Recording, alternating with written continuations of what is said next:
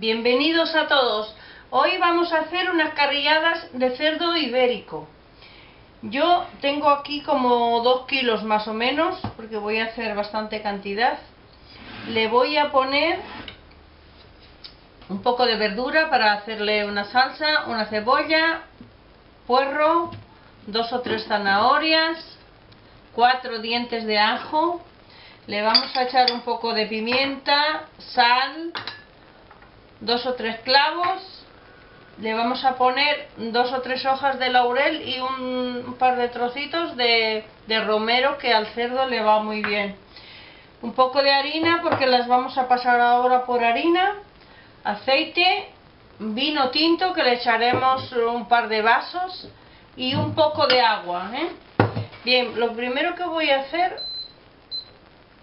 es pasarlas un poco por harina y las vamos a sellar en esta sartén y luego las echo a esta otra que tengo aquí a la olla que seguidamente le vamos a rehogar el aceite que quede de, de pasar la, la, carne, vamos a saltear la verdura, se la añadimos ahí y luego la cerraremos un poquito en la olla para que no, no nos tenga tanto tiempo cociendo. Aunque estas la verdad es que suelen ser mm, bastante tierna, se suele hacer muy pronto la, esta carne. Bueno, voy a echarle el aceite, ¿eh? vamos a echar bastante aceite porque las vamos a... Ahí. Luego la vamos a aprovechar también para hacer la, la verdura. He hecho aquí la, harina. Las vamos a, a salpimentar y las vamos a sellar porque así la carne si se sella pues se cierra un poco y lo que hace es que los jugos no se le, no se vayan ¿eh? se queda más jugosa, más tierna yo le he quitado la grasa que, que yo he visto que que tenía que me sobraba se la he quitado Esta carne es muy, muy sabrosa. Muy sabrosa. Y dicen también que, esta, que la carne de cerdo, bueno, dicho por los médicos, la carne de cerdo ibérico, que, que la grasa que tiene, que no es tan dañina, porque como están se crían en el campo y a base de, de bellota, pues entonces la, grasa parece ser que no son no son tan perjudiciales para, para nosotros entonces pues lo vamos a degustar hoy con placer porque es una carne de verdad que es riquísima y ahora lo que voy a hacer pues es simplemente esto ¿eh? intento quitarle toda la la harina sacudirlo bien ¿eh? ahí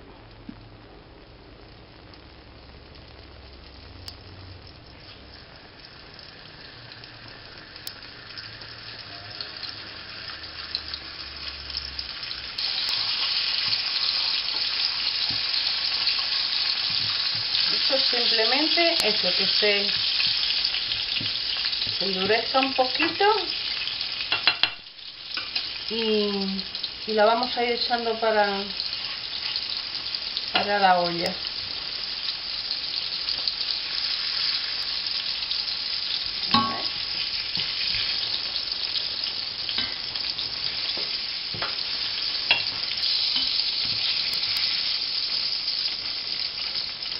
Bueno, dejarme que voy haciendo la misma operación con esta que me queda y luego vuelvo.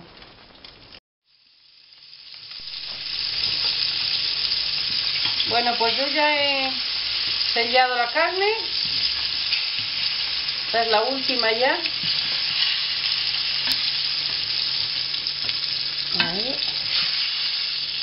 Y ahora lo que voy a hacer en esta misma aceite, ¿eh? aunque tiene un poquito de harina, pero eso nos va a venir también bien para, para luego que se nos espese la salsa. Le vamos a echar la verdura. Ahí. No hace falta picarla muy chica porque muy pequeña porque como es para pasarla luego, ¿eh? pues la vamos a la vamos a, porque le va a dar más sabor también a la salsa. ¿eh? Vamos a bajar un poco.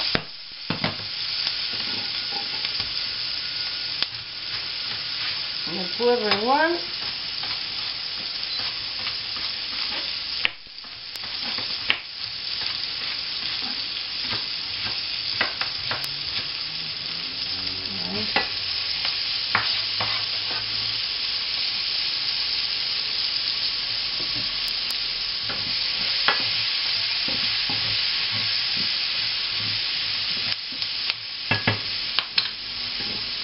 la verdura, las zanahorias, igual, las cortamos así en,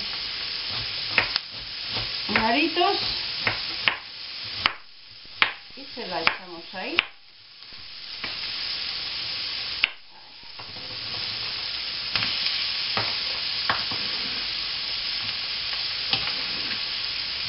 Buscamos los ajos.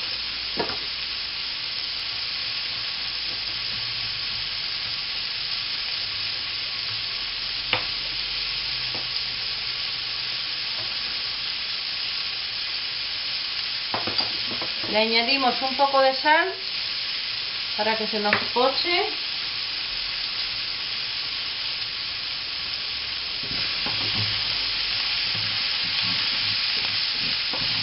Y así está arrastrando todo el sabor de la carne, la poca harina que, que tenía y esto va a coger un sabor, la salsa buenísimo luego. La vamos a dejar un ratito aquí que se nos poche, se nos haga. Y ahora vuelvo. Tenemos ya salteada la verdura y entonces lo que voy a hacer pasarla para la olla. ¿eh? Pues esta cazuela pesa mucho. Ahí.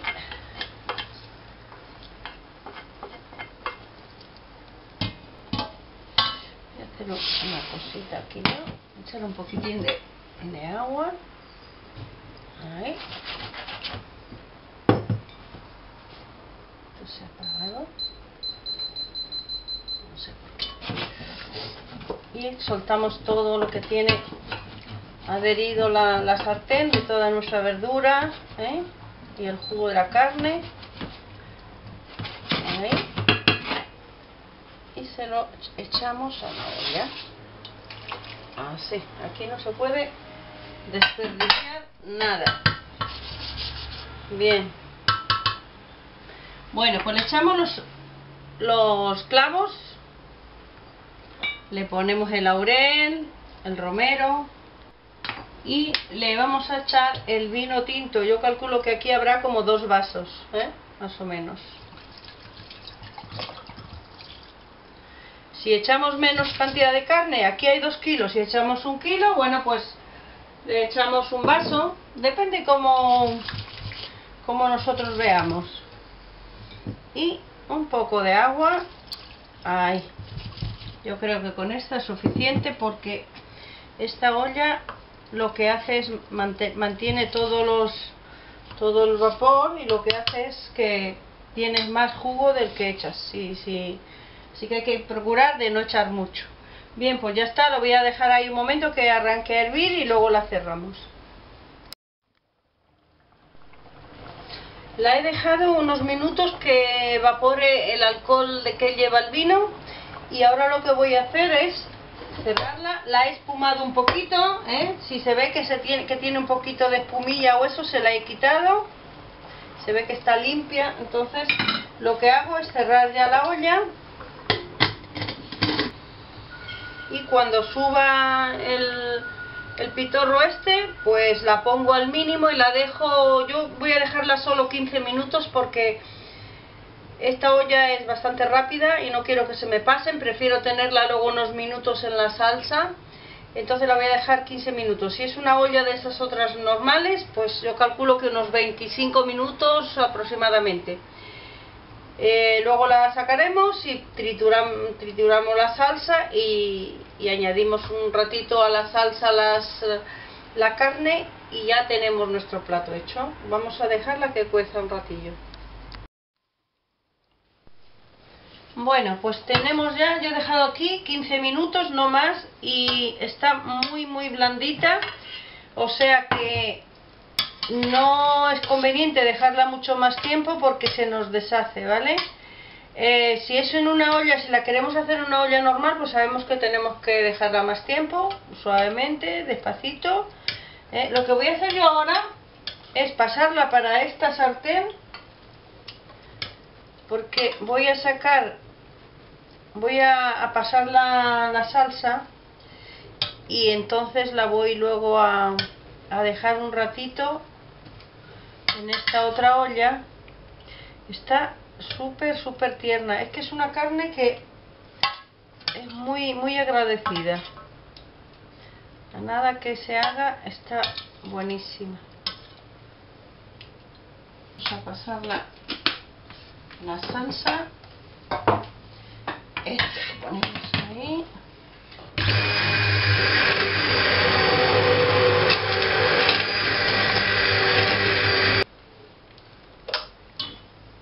Bueno, ya está. Y ahora lo que voy a hacer es pasar la, la salsa por este chino.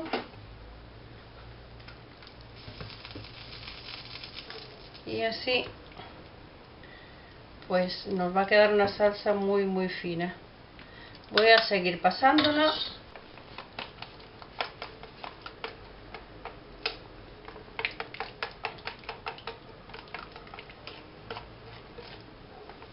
Bueno pues ya está la salsa la tenemos ya pasada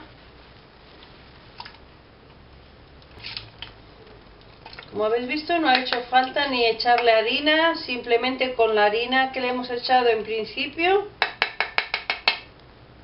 ha sido suficiente para que la salsa nos quede espesita.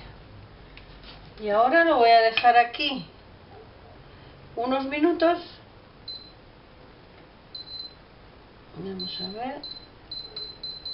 Así.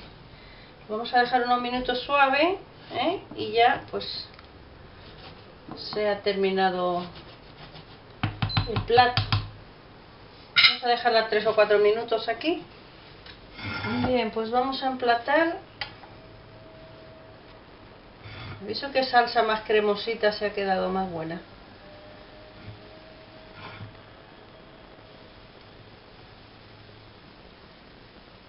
Vamos a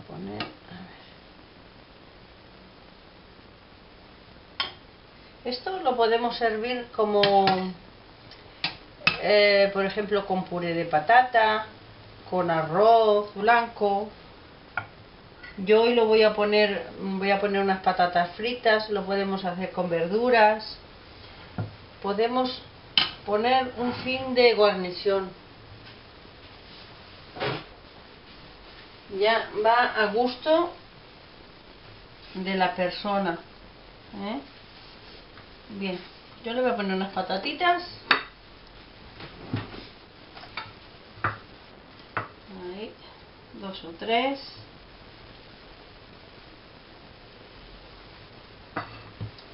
Y ya, tenemos un poquito de perejil para darle un tono, un poquito de, de color.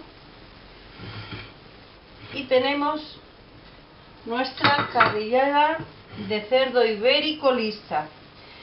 Bien, pues nada, animaros a hacerlo. Son platos que ya como veis son muy fácil de hacer, muy sencillos porque yo la cocina que yo hago procuro hacerla lo más sencilla posible. Y bien, pues nada, muchas gracias y nos vemos en el próximo vídeo.